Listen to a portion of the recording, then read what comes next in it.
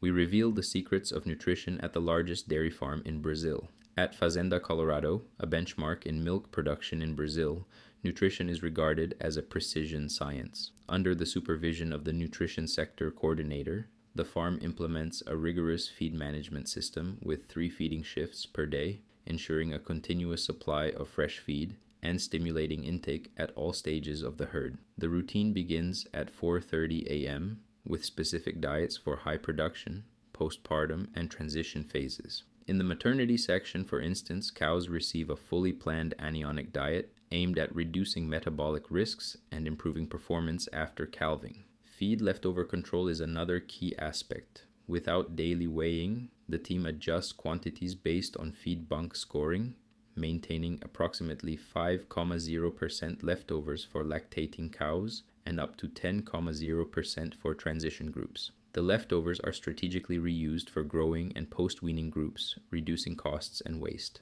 This entire operation is supported by robust infrastructure. The farm produces and stores its own cornmeal, consumes large daily volumes of ingredients such as citrus pulp and cottonseed, and uses high capacity equipment for mixing and distributing feed. The result is a highly efficient system reaching up to 99.7% accuracy in diet formulation, a standard rarely achieved in the sector.